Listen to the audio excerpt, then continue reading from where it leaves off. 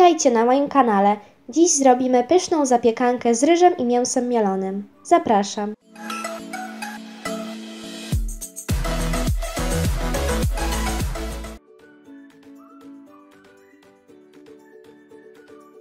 Na początku cebulę kroimy w kostkę i rumienimy ją na patelni na niewielkiej ilości oleju.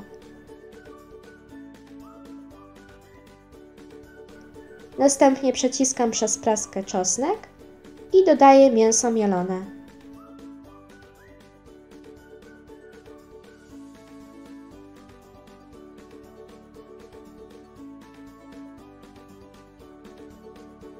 Doprawiam pieprzem i solą i wszystko smażę kilka minut od czasu do czasu, mieszając.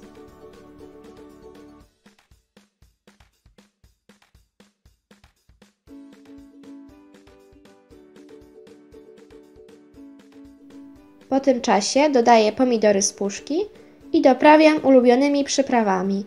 U mnie sól, pieprz, zioła prowansalskie, słodka i ostra papryka oraz wegeta.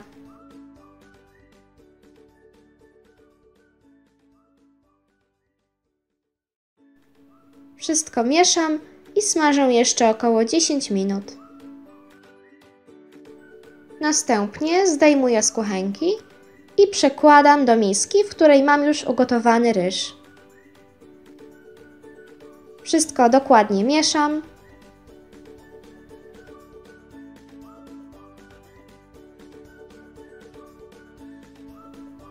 I należy jeszcze skosztować, czy wszystko jest dobrze doprawione. Ja dodaję jeszcze pieprzu i ponownie wszystko dokładnie mieszam.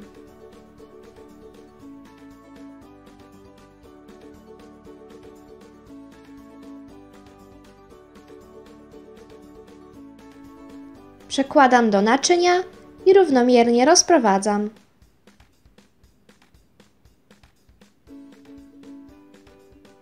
Na wierzch posypuję startym serem żółtym.